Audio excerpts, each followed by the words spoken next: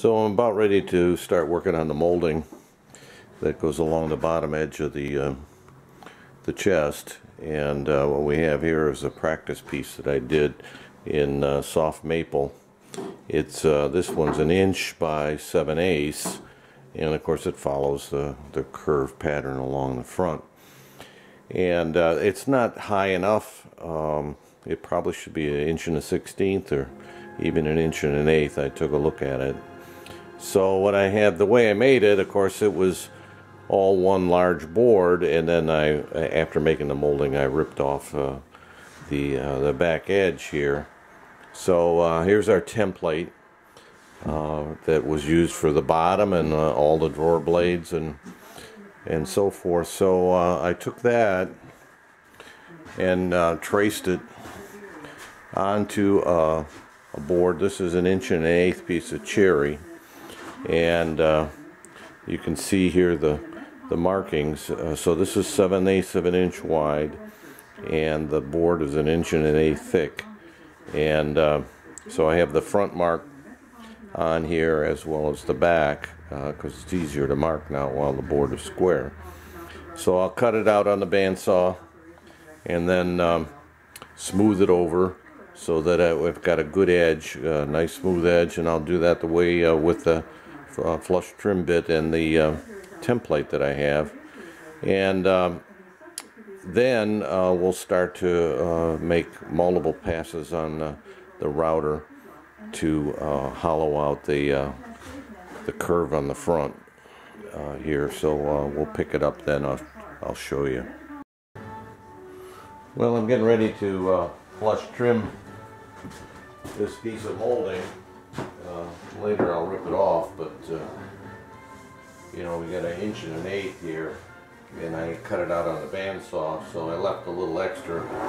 So then I took my uh, template that I have and uh, screwed it to the, the bottom. The screws, of course, in the waste portion.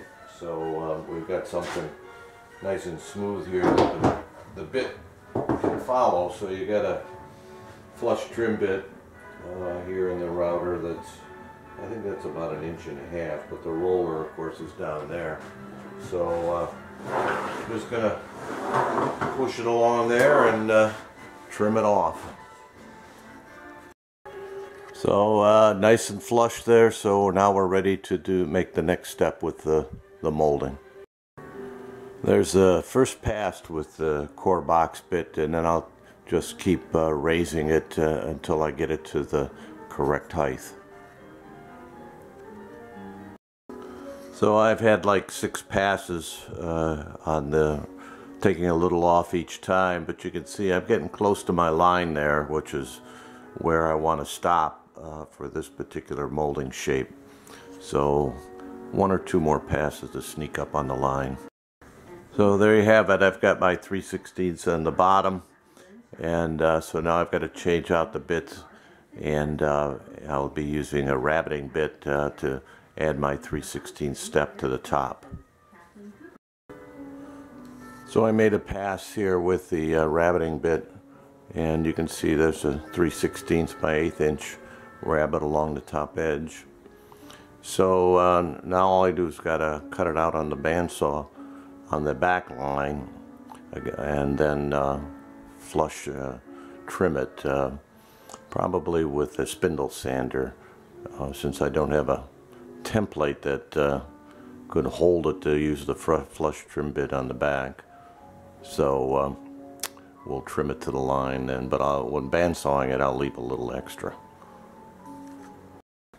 Well, there you have it. Um, looks uh, pretty good to me. Let's see if we can keep it in focus, but it's a nice, uh, nice fit uh, along that line.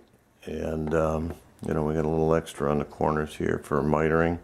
So now I got to make the straight pieces, but um, I'll just be able to rip them off uh, the same uh, size. So uh, this was the most difficult piece. So uh, need two pieces of straight molding to run along the backs or the two sides. I made uh, twice as much straight molding as uh, I would need. Um, But I figured since I was doing it and I had the board there, uh, I just ran it across there. So I've got uh, quite a bit of the uh, straight molding. So that'll allow me to mess up at least the sides a little bit. So now I, I need a half inch piece that goes underneath the molding that the molding rests on. So that's the next step.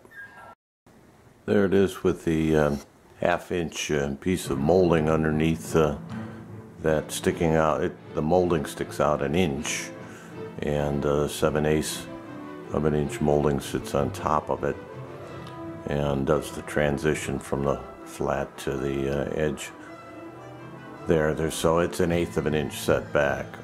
So, um, and then of course the feet, the bracket feet, then go uh, underneath that piece. So, um, beginning to um, put it together here. Um, obviously, the corners have to be mitered, and uh, um, that's pretty much uh, how it's going to look. Um, so the next step is to miter the corners.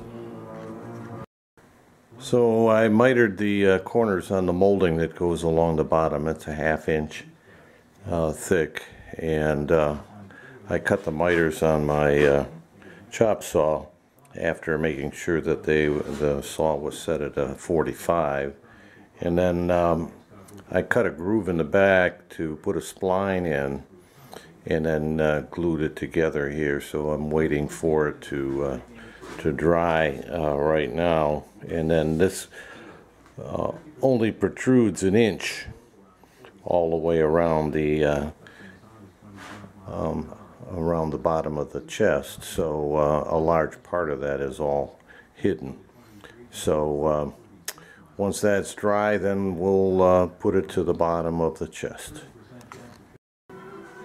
well, I've decided to attach the molding uh, to the bottom, so I'm using uh, a number 10 screw here. As you can see, there's a number of screws across the top rail and then one along the bottom, but I'll elongate the holes uh, for the la last uh, one that I drilled down here here because uh, we don't want to trap the uh, the base because we're going cross grain there. So Anyway, then uh, I'll set it upright and then we'll attach the uh, other molding.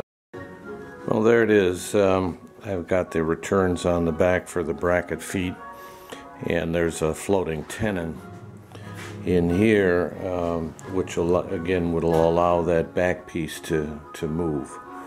So uh, we're done with this piece of molding. I got to set it upright and then add the, uh, the curved molding. Well, the molding is on, and uh, it came out pretty good.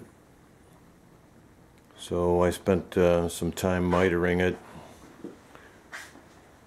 in the corners uh, and uh, fitting it, and it's nailed and glued in the front, uh, and it's just nailed in the back. So about uh, the first six to eight inches is uh, glued in the front.